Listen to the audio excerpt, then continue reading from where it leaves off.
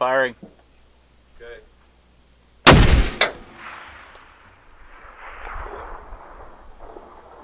Let's say we're about a minute high.